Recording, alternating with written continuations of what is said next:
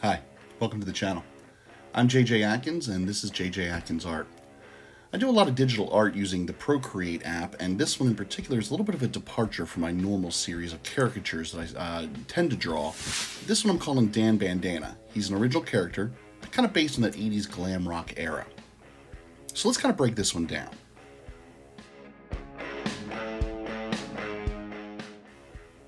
So as I mentioned, Dan Bandana is an original character, but he is loosely based off of kind of a mix of a bunch of 80s glam rockers that cropped up around the West Coast on the Sunset Strip in the uh, 80s. Think like Poison, Guns N' Roses, Whitesnake, you know, these, these heavy metal hair bands.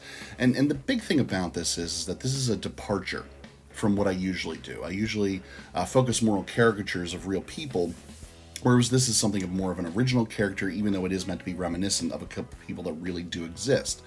So, um, you know, maybe think of like a, if, if Bret Michaels and Axl Rose got together and had a baby, this might be something of the result of it. So it's meant to remind you of some people, but not necessarily look like any one particular person.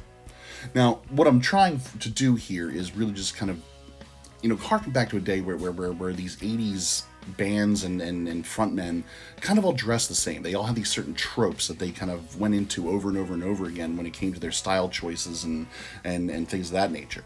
So when I started this piece out, I started with like a list of things that I wanted to include in this character. Things like ripped jeans, uh, uh, tattoos, um, chain wallets, uh, wristbands that have uh, you know like metal studs on them, things like that. Um, t-shirts with the sleeves torn off. But the big thing was the bandanas. I, I couldn't get over when I was doing the research how many of these people had bandanas tied over every aspect of their body, whether it be a bandana tied around their arm or their thigh, their head, around their neck, bandanas everywhere. And suddenly I came to this realization that this character was just going to be called Dan Bandana, and I was just going to try to squeeze in as many of these tropes, but particularly the bandanas, as much as I could. Now, um, this is something of a more cartoony take rather than a more photorealistic take on, the, on, on, a character. But I think it still works because of the amount of detail that was kind of packed in here. And, and, and we'll speak to the details we get a little bit further into the piece.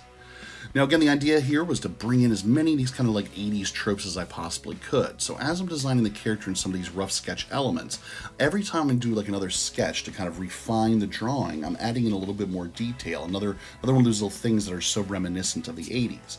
So it's a little bit tiny. You may not notice it right now, but it's there. Take a look. He's got an earring kind of coming down from his jawline into his hair there a little bit. We've already talked about the bandanas and the studded wristband there. On his other hand that hasn't been fully rendered yet, there's a uh, glove. He's got one fingerless glove there, very, very reminiscent of the era. And I'll also, in another layer, add in a whole bunch of little wristbands as well. Like kind of those jelly wristbands that were very popular in the 80s. He can't have nearly enough belts as far as I'm concerned. So I put on as many belts as I possibly could, and then we finish off the torso going down the legs with the uh, with the jeans. Now, um, I didn't really commit to the jeans right away. I, I kind of scribbled some lines in there to represent something that was going across the uh, thighs. I had two ideas as to how this was going to work. I was either going to go with the the ripped jeans that just were shredded beyond all reckoning, or these are going to be tights, and I was going to put in some sort of like a uh, zebra stripe animal print pattern on them. Um, either one of them would have worked for this, but I think at the end I, I decided that the jeans were just going to be a little bit more fun to draw because of all the little white you know threads that I could kind of draw uh, detail wise kind of hanging off the jeans and, and selling that element that it was denim.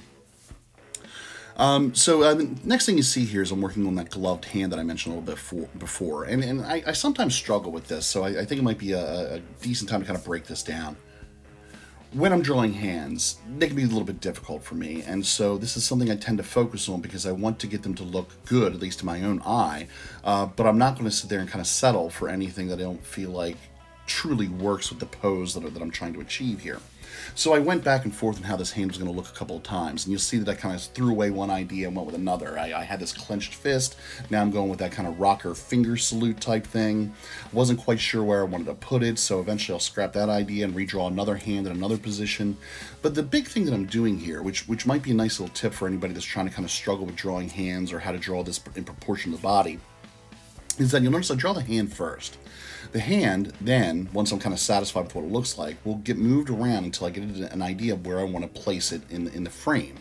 Um, I'm not really worried about where it connects to the shoulder of the figure yet. I just want to get the hand right first. And once I have the hand sitting where I want it to, then I can just kind of draw a line connecting shoulder to wrist and then draw an arm around it, kind of almost like I'm connecting the pieces of a puzzle together. If you draw the hands first and then bring in the arms later, I think that you'll find that the proportions tend to work out a little bit better because your eye typically wants to put a hand where it belongs, at least you know proportionally, and and and the rest of the arm can kind of be draw, drawn around it to to kind of solve the puzzle, so to speak. I do this a lot uh, with a lot of my figures. So if you ever look at any of my other videos, you'll see that I'll draw hands separate from anywhere else. Then I'll just kind of move it into place and draw the arm around it. It's a good way to kind of get the effect that you're going for. And, and it helps kind of achieve some of the proportional questions that I think that sometimes um, I have when I'm dealing with uh, uh, kind of putting a figure together into some sort of a pose or a stance. Now that I have that together, I'm jumping to the background. So uh, all I've really done here is just draw a loose outline of some background singers, and I didn't really want a lot of detail in this, so I knew that from the get-go this wasn't going to be anything I spent a lot of time drawing. Immediately went to Silhouette, made a copy of it, and then I used some distortion tools to kind of move them around a little bit, and kind of make it look like that they were um, kind of sitting in the background on a stage. At this point, we move into our coloring stage. Now the coloring on this was really going to be uh, uh, very almost monotone. I wanted everything to kind of have something of a red look to it. So the stage lights and everything that's coming off the stage was shining bright red. Um, so you'll see as I put in the lights there, what I'm trying to do is get this background to really kind of fade a little bit. I, I, don't want a lot of focus on it. I'm blurring everything out. I'm not putting in detail. I'm not even really drawing in lights. I'm just drawing in the actual just light source itself, the, the luminescence, if you will. And then everything else is the foreground, and that foreground I want to have the detail and the focus, and even a slightly different color scheme. So everything behind is red, but everything in the foreground is going to go with a different color to give us some contrast and help bring that foreground, that figure in the foreground rather, up towards the front there a little bit. Now, as I'm going in and I'm coloring this, you may notice that the flesh uh, tone is a little bit dark, and I, and I think that might bear some mentioning as well. Um, when I'm trying to render something, something of a Caucasian skin tone, um, one of the tricks I kind of go with is try to render it darker than I think that it should be. So I did want somebody here that was going to be rather relatively pale skinned, but I didn't start off that way, knowing that a little bit later when I put in the light source, it's going to make that skin look a little bit lighter once all the light source has been put in. So starting with a darker midtone will have just kind of give you something that you can go to in terms of a lighter tone to get shine and stuff like that. If you start with your flesh tones too light, then the only thing you have left to go to is white for a light source, and that just doesn't really kind of come off very nice. Something I also do when I'm uh, rendering flesh is the red. I mention this a lot in my videos, and this apparently is not going to be an exception.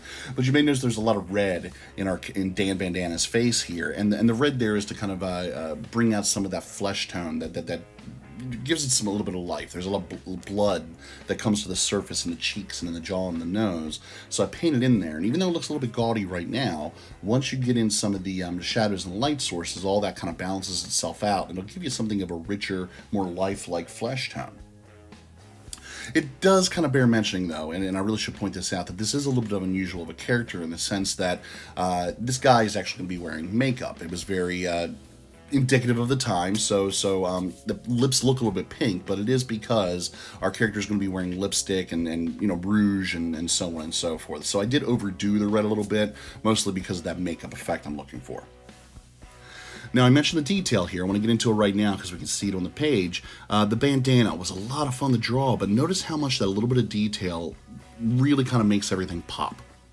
Now, I didn't like the red in the bandana here because everything else in the background was red. So eventually I am going to turn it to a blue color. It's really easy to do because I kept all the bandana work on its own layer. So going back and changing the color was really simple because I just was able to pick out that one particular layer and make that change there and have it affect nothing else. But the important thing here was the detail work. All that little filigree, and all that little line work was really just the result of kind of zooming in, getting a um, a reference photo from Google of, of what a bandana looks like traditionally, and just trying to get uh, some of the scribbles in there to resemble what I was seeing from my reference photo. Uh, the neckband is an example of that, but certainly that headband as well. That that big series of circles with all the kind of intertwined white and black lines came from just some reference photos I found on Google of just you know people wearing bandanas uh, uh generally. That little level of realism kind of helps everything pop and work considering that everything else surrounding it is very kind of simplistic and cartoon uh, in, in, terms of a, a, drawing style. Now, when I originally did the rendering on this and I had just the line drawing done, I showed it to a couple of friends of mine and they said that this looked very much like Bret Michaels from Poison, uh, without any color in it, but just the black and white outline. It, it, it, did look a little bit too much like him, and I was trying to get away from a specific resemblance. So I, I was really kind of trying to figure out how to change it a little bit, and one of the things I stumbled across was just changing the hair color. So I made sure I stayed away from blonde and went with a dark hair color. In this case, purple, but I could have probably pushed it more into the black zone. But the darker the hair, the more it seemed to get away from that Bret Michaels resemblance, and, and that was kind of ultimately what I was striving for. Now, again, our character is also wearing makeup, so I've got a lot of heavy rouge in there, the pink lipstick, there's eyeshadow that just put in, but because I wanted to make sure that we were clear that this was a male that we were speaking about, I made sure that I also uh, got a little bit of darkness in around the uh, jawline to, to kind of indicate a 5 o'clock shadow. I, I, think it works. It, it, helps the, the, payoff here a little bit. I didn't want there to be any confusion, despite the fact that 80s hair rock was something of a, a very androgynous time. Um, I wanted to make it just as clear as I possibly could that this was a guy in makeup, because that was just the character that I was going for. Light source here was really kind of tricky because there was a lot of light going on. He has light coming from behind him. I have two stage lights shining almost directly on his face as well. So trying to get shadow in here was important, but it was also going to have to be a very limited amount of shadow considering how much light was shining from every direction. So all over his arms and his hair, the bandanas, the front of his chest, even down his jeans, has got some sort of a light source either shining off of it or reflecting off another surface. And it, it can become a little bit difficult to keep track of it all if when you got this many light sources going on. But hopefully, I kind of pulled it off in a way that that, that you know it, it works, if, even if it's not 100% accurate. So that's about it right here. I kind of put a little bit of a frame on it, add our signature, and we got ourselves a done deal. So Dan Bandana is all set. I hope you liked this little short video. I've got more coming pretty soon. More caricatures, as a matter of fact, so make sure you come on back. Don't forget to subscribe and share. And if you can click that like button, that certainly helps me out as well. Hope to see you soon. Have a great day.